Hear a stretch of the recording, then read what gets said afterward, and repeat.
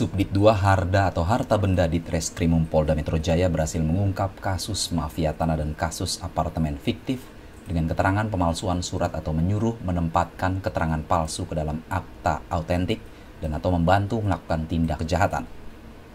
Untuk kasus mafia tanah, modus operandi yang dilakukan tersangka adalah pelaku menawar rumah yang hendak dijual oleh pemilik, kemudian membujuk sang pemilik untuk melakukan pengecekan ke pihak BPN.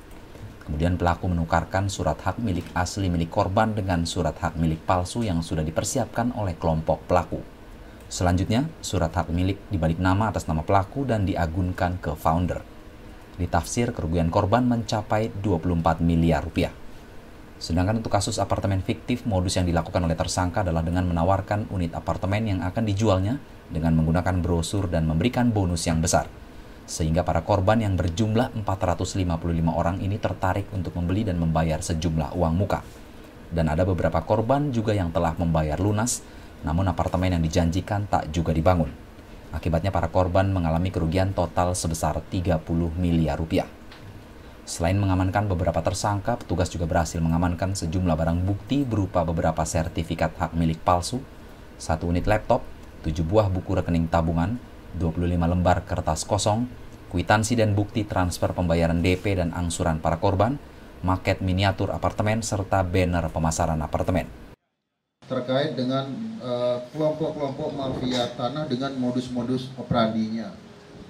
Kenapa ini perlu kita sampaikan kepada rekan-rekan sekalian? Yang pertama tentunya agar tidak menimbulkan korban-korban baru dan masyarakat tahu betul bagaimana kelompok-kelompok ini melakukan kegiatan-kegiatannya. Kemudian yang kedua, kalau ada masyarakat yang memang juga dirugikan yang kita belum tahu dan tahu ada kelompok ini, nanti bisa melapor ke Polda Metro Jaya tentunya. Tips kepada masyarakat apabila akan melaksanakan jual beli properti agar terhindar dari kelompok mafia properti atau mafia tanah. Yang pertama adalah kenali identitas daripada calon pembeli maupun juga calon penjual dan objek yang akan diperjualbelikan. Dengan melihat yang pertama adalah untuk calon pembeli harus memiliki KTP dan kartu keluarga. Ya, Kemudian yang kedua untuk calon penjual.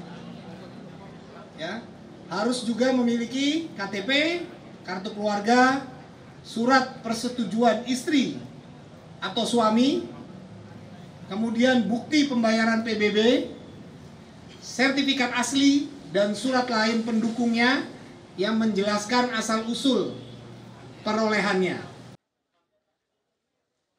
Dari Jakarta, Tim Liputan Tribrata TV, Salam Tribrata.